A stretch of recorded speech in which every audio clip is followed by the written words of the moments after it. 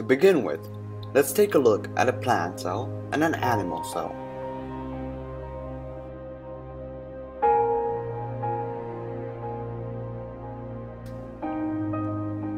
Chloroplasts and cell walls are unique to a plant cell. They will not be found in any kind of an animal cell. Chloroplasts contain chlorophyll inside them that makes it look green. They are oval-shaped organelles. The function of the chloroplast is to capture energy from sunlight and later on convert it into energy that can be used by the cell. The mitochondria also plays a role inside this process. This process is called photosynthesis. The other unique organelle to a plant cell is a cell wall. A cell wall is very similar to a cell membrane that I will talk a bit more about later. The structure of a cell wall is a rigid layer that surrounds the plant cell and will not be found in any animal cell. It is mostly made out of a strong material called cellulose. The function is to protect the cell. It as well supports the cell membrane, as I already mentioned before. One organelle that's unique to an animal cell is called lysosome. This is the only unique organelle that I will talk about, unique to an animal cell. A lysosome is the opposite of chloroplast. That is why animal cells have it and plant cells do not. That's why plant cells have chloroplast and animal cells do not. Basically, lysosomes are small round ball structures. Their function is to break down large food particles into small particles that can be converted into energy that can be used by the cell. However, chloroplasts do not need to break down food particles as they only get sunlight which is already in the form of an energy that can be converted into a different energy and does not need to be broken down by lysosomes. Now we are done with the unique structures. So both plant cells have a nucleus. The structure is like a big ball that has a double membrane. It contains the DNA. The function is like the brain of a cell. It controls the entire cell. It defines what the cell looks like, where it goes, what it does, and what it is. Continuing with the nucleus, it's divided into four parts nucleolus, chromatin, nuclear envelope, and nuclear pores. The nucleolus is like the Earth's core. It's a small, round structure. The function is to create ribosomes, and ribosomes create protein, and protein is very important to the cell. It also does not control the cell. However, the chromatin does. It stores the cell's DNA and directs the cell's actions. The structure is a bit jelly. It covers the space between the nuclear envelope and the nucleus, nucleolus. Called.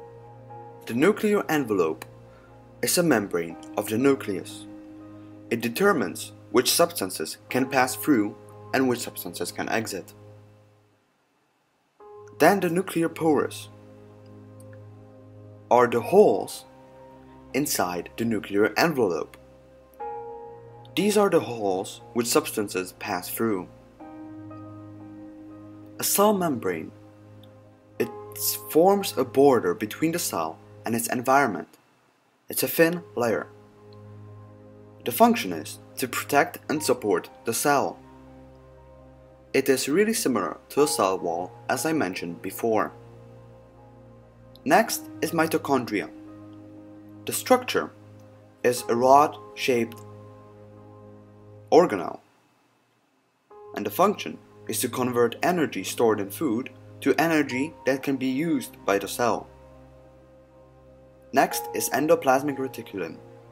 It is also known as the ER.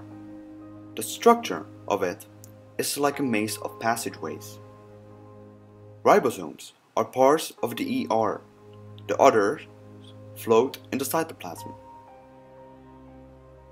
The function is to produce many different substances. Which one of them are the ribosomes? Next is Golgi apparatus. The structure, it looks very like the ER. The difference in the structure is that the Golgi apparatus does not have ribosomes. The function is to store, collect, and transport materials.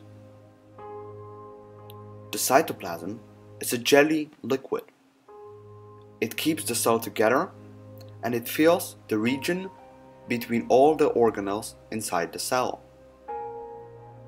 Ribosomes are tiny grain structures. They produce protein, which is very important for the cell. Vacuole. Structure is very large. It's very large in plant cells and tiny in animal cells. Some animal cells do not even have an ER. The function is to store substances that are used by the cell, mostly water. These organelles, named, are found in both a plant cell and an animal cell.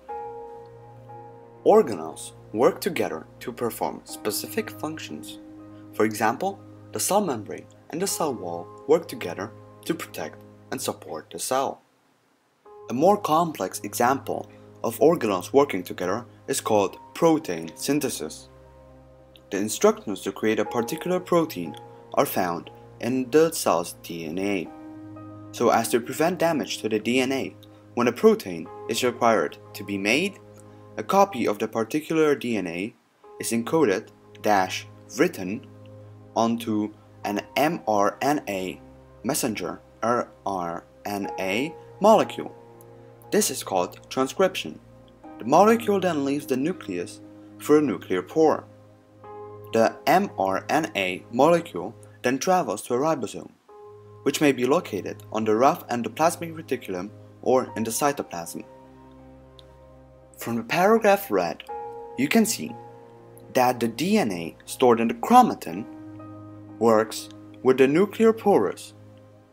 Later on, with the ribosome or endoplasmic reticulum or cytoplasm.